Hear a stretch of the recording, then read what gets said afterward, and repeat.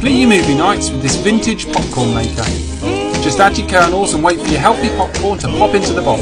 Any unhealthy toppings can then be added if desired. Easy to clean and small enough to store away in a cupboard.